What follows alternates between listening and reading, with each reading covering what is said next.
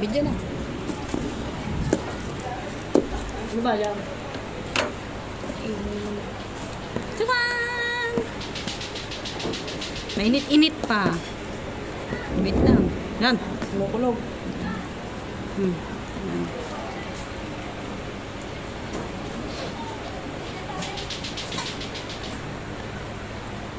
Yun, isang graham, tsaka isang salad.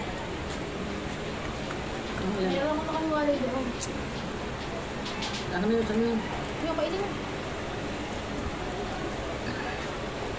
Iyo ba, iyo ba yan, mama? Oo. Ito, dadaling ko to.